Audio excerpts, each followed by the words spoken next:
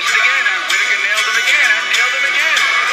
And he missed again, and nailed him again. This is this is another testimony of if God is for you, who can be against you? This could be the round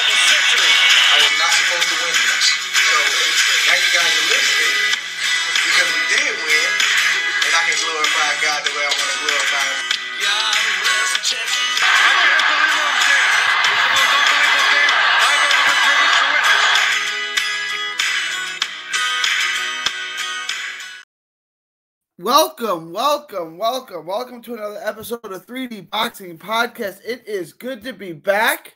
Um, gonna have a fun show to, for you today. Terence Crawford, um, making some interesting comments. Moving 154.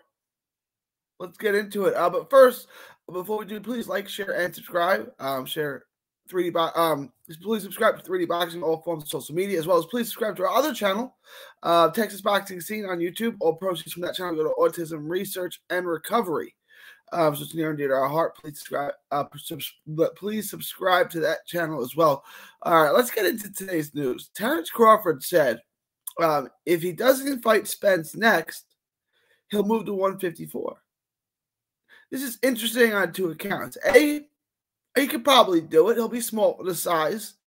Um, but he's not that undersized. Um, he's got the skills to do it. He'll, he'll move to 154 to fight uh, the winner of Charlo Castano. Um, the WBO belt. WBO BO has that rule where if you hold the belt, you can jump up in weight and become the mandatory. Um, so he, he would exercise that. If he wins, if he would beat the winner of Charlo Castano, which I'm picking Charlo, if he were to win that fight, uh, he would be undisputed in two weight classes. He'd be the first guy to do that in the four belt era. He'd be the first guy to be undisputed in two different weight classes. And the interesting thing is he, he skipped over 47, right? He didn't skip over, he, he held one belt there, but he goes undisputed at 40, went to belt at 47, and would go undisputed at 54 all in one shot, assuming um, that, you know, Charlo Castano put all the belts on the line, which you'd assume that they would, which would be a really interesting legacy play for Terence Crawford and where you would rank him all time amongst the best, you know, we'll call him junior welterweights to junior middleweights in that in that era. Where, where would you rank him if he did that? It'd be quite a feat. That would be quite a feat. Um, it, helps his legacy. If he, he becomes a two division undisputed champ, what does that do for his pound for pound status? Is he two? Is he three? Is he four? Would it put him to one? Would it put him over Canelo if he wants I, wins? I don't think so. It would also be interesting for 47. Um, right? Because right now he he just beat Shawn Porter. Um, he's WBO champion. If he were to leave, um, that would make way for Vergil Ortiz. Now, Vergil Ortiz, um, is wanting to go WBO route. I, I think he he sees a fight. You know, there's gonna only be two champions in a month, two two months from now. Uh, Spencer Ugas, let, us say Spence, and Crawford. He thinks the Crawford fight is probably easier to make, and both fights are extremely difficult. Um, you know, the Spence fight, he's always said it will happen at 154. I just don't think he, either one of them are going to stay around 47 long enough. I, I think Vergil Ortiz is about bu- busting out of the scenes at 47, is going to eventually go to 54. Errol Spence is going to go to 54 too. Um, looking so right now um verge is ranked number one in the wbo now they can mandate whoever they want to fight uh but if, if you if you look through their rankings you got vergil ortiz at one jaron ennis at two michael mckinson at three he's fighting mckinson let's assume he beats let's go out on a limb and assume Vergil Ortiz beats Michael McKinson, okay? And Jaron Ennis beats uh, Custio Clayton. Let's assume those things. Um, you could then have Boots versus Ennis fight one and two for the vacant WBO belt that Crawford left behind. So I, I think this is a win.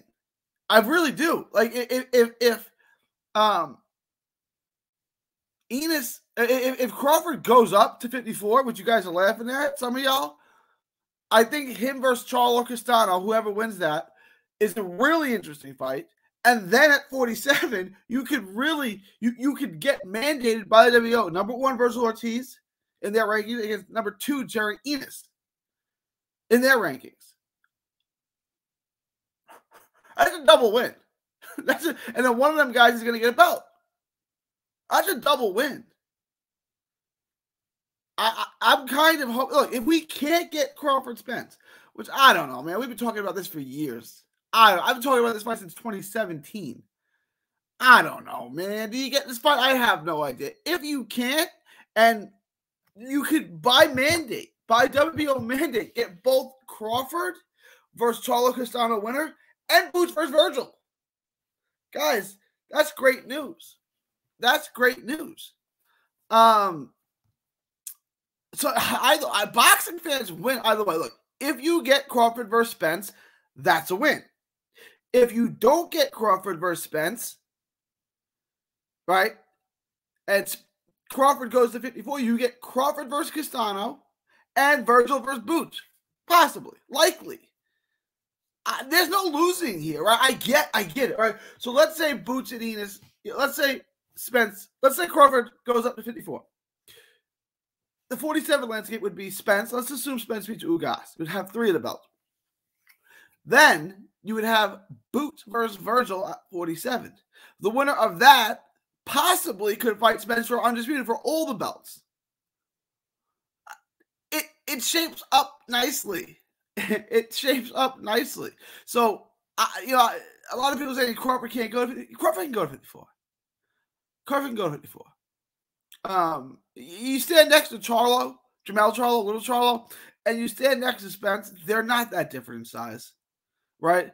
Uh, Crawford's built a little different. He's tall, long, and lankier, right? He's not really built like, but Crawford and and and, and Jermell Charlo. I, would say there's a bigger difference in size between Jermall and Jermell than there's Jermell and Errol, right? Errol is closer in size to Jermell than Jermell is to Jermall.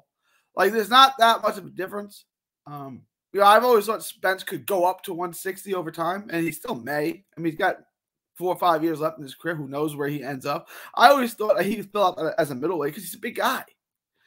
Um, I don't, and, you know, I, I, I get um, Spence started at 35, but he's not small for 47.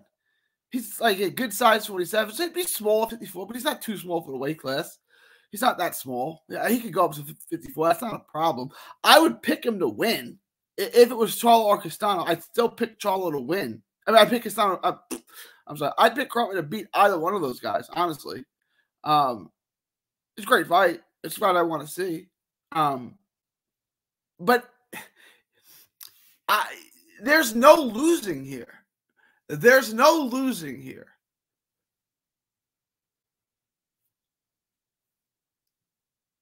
I'm into it. I don't know what you guys think. Leave your thoughts, comments below. Please like, share, and subscribe. Um, it is. Oh, uh, please also subscribe to Texas Boxing Scene. Um, yeah, please subscribe to Texas Boxing Scene. All proceeds from that channel go to Texas uh, Autism Research and Recovery. It's very near and dear to our heart. Um, it is February 24th, 2022. Uh, from Texas to the world, thank you and God bless.